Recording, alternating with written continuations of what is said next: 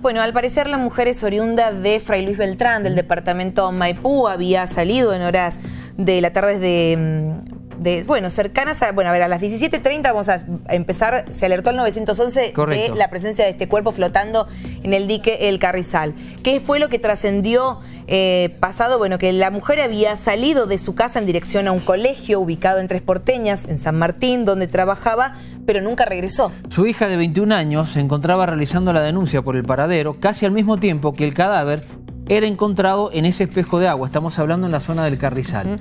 Eh, se encontraba, el cadáver se encontraba con una mochila que tenía, que tenía documentos personales y así lograron, por supuesto, identificar a la víctima fatal como Graciela Noemí Briones, de 55 años, y como decíamos al principio, domiciliada en Fray Luis Beltrán del departamento Maipú. Policía científica trabajó en el lugar y le dio intervención inmediatamente al fiscal de homicidios, el doctor Carlos Torres, quien buscará determinar las circunstancias de la muerte de esta mujer.